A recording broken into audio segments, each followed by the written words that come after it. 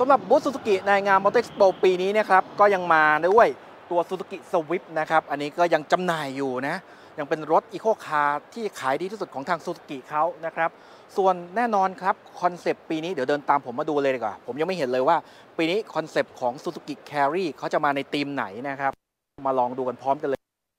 โอ้โห Suzuki Carry collab กับบุญถาวร วันนี้ทำเป็นอะไรเอ่ย Portable Restroom ห้องน้ำเคลื่อนที่ครับ โอ้โหแหม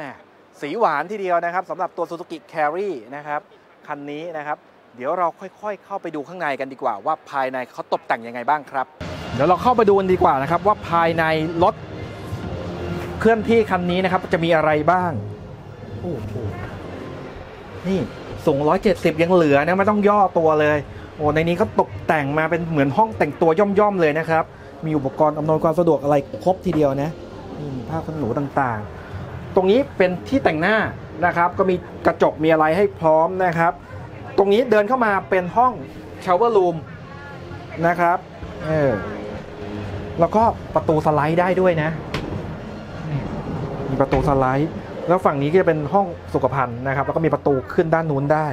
นะครับ เปิดได้สองข้าง นะครับก็เรียกได้ว่ามีอุปกรณ์อำนวยความสะดวกครบครันนะเป็นทั้งห้องน้ำห้องอาบน้ำห้องแต่งตัวได้หมดเลยนะครับ จริงๆ ตรงนี้น่าจะมีกระจกเลื่อนด้วยนะใครสนใจนะครับ อยากจะได้รถสไตล์แบบนี้นะครับ ตัว Suzuki Carry ตัว Suzuki Carry ตัวเปล่าๆนั้นเนี่ยราคาเริ่มต้นอยู่ที่ 395,000 บาท แต่ส่วนออปชั่นที่คราวนี้เขาตกแต่งเขา collab กันเนี่ยบ่อยไม่บ่อยครั้งนักที่เขาจะบอกราคานะว่าเท่าไหร่นะครับคราวนี้เขาบอกราคามาด้วยนะครับ อยู่ที่ประมาณ 299,000 บาทครับคุณก็จะได้ห้องน้ำห้องอาบน้ำแบบนี้ แต่ไม่ไม่รวมตัวออปชั่นเสริมอย่างพวกโต๊ะเก้าอี้อะไรพวกนี้นะพวกสุขภัณฑ์ต่างๆเนี่ยอันนี้ไม่รวมนะครับอันนี้ก็จะถือเป็น guideline ให้แล้วกันนะว่า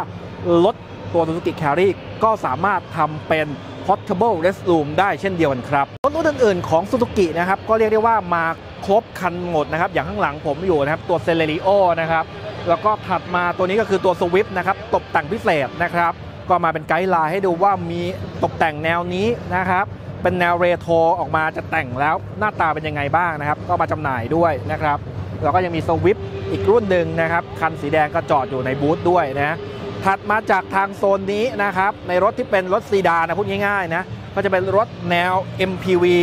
นะครับมินิ MPV นะครับอย่างคันที่จอดอยู่ตรงนี้ก็คือตัว XL7 นะครับรถ MPV 7 ที่นั่งนะครับ ยกสูงขึ้นมานิดหนึ่งนะครับสไตล์ crossover นะครับ อันนี้ก็ยังจำหน่ายอยู่นะครับ รวมไปถึงนะครับ อันนี้ก็เป็นสีที่ตกแต่งพิเศษอีกอันหนึ่งนะครับ นี่ Lady Celeb นะครับนะตัว c e l e r i o นะครับ ตัวนี้ โอ้อุปกรณ์ตกแต่งนะผ่อนเริ่มต้นเพียงแค่ 6,000 กว่าบาทเท่านั้นเองนะครับสำหรับชุดตกแต่งตัวนี้นะครับ อันนี้มาแล้วก็ด้านหลังนะครับ ก็ยังจะมีอีกคันหนึ่งนะครับ ก็คือตัว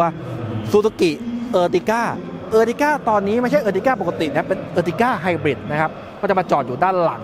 นะครับ แล้วก็นี่เราจะมาให้ดูเลยนะครับตัว Suzuki Carry นะตัวรถเปล่าๆนะครับ เน้นในการใช้งานนะครับ ในการบรรทุกขนของหรือว่าคุณจะไปตกแต่ง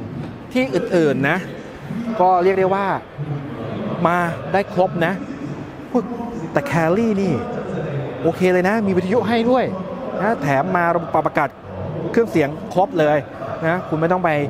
เพิ่มเติมอะไรแล้วนะครับ อันนี้ก็คือทั้งหมดของบูธซูซูกิในงาน Motor Expo นะครับ ส่วนโปรโมชั่นต่าง ๆ นะครับ ก็ลองสอบถามกับเซลล์ดูว่าแต่ละรุ่นนั้นมีโปรโมชั่นอะไรยังไงบ้าง